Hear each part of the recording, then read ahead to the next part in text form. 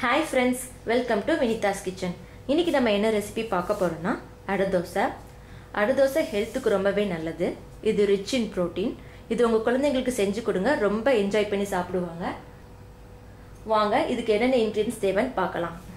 நான் இன்னைக்கு இந்த டம்ளரில் முக்கால் டம்ளர் இட்லி அரிசி எடுத்து வச்சுருக்கேன். அரை டம்ளர் பச்சரிசி எடுத்து வச்சுருக்கேன்.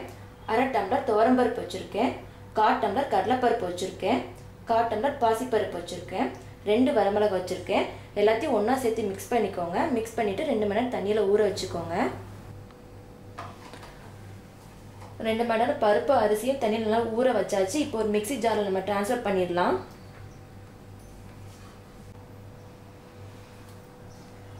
இதில் இப்போ கொஞ்சம் சின்ன வெங்காயம்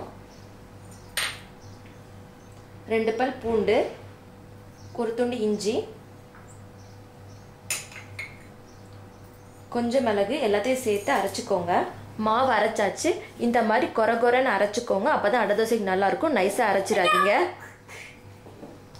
இந்த மாவை ஒரு பவுலில் ட்ரான்ஸ்ஃபர் பண்ணிக்கோங்க. ஒரு பவுலில் ட்ரான்ஸ்ஃபர் பண்ணியாச்சு. இப்போ இதில் சின்ன வெங்காயத்தை சேர்த்துடலாம். நிறைய சின்ன வெங்காயம் சேர்த்துக்கோங்க. அப்போ தான் தோசை நல்லாயிருக்கும். நல்லா பொடி பொடியாக நறுக்கி வச்சுக்கோங்க.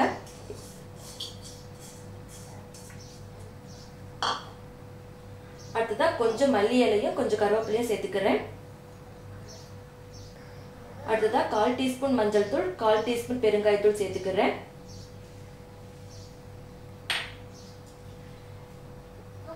இப்போ தேவையான உப்பு சேர்த்துக்கோங்க.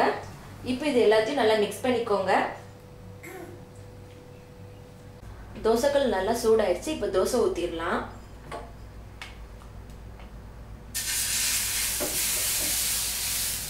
நல்லா விரிச்சு விட்டுக்கோங்க.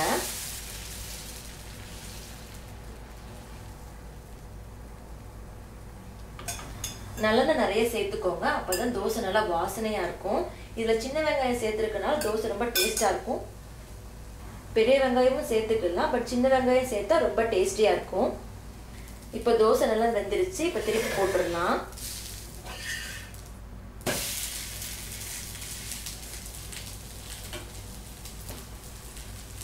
இப்போ ரெண்டு சைடு தோசை நல்லா வெந்துருச்சு. இப்போ ஒரு பிளேட்டில் அதை ட்ரான்ஸ்ஃபர் பண்ணிடலாம்.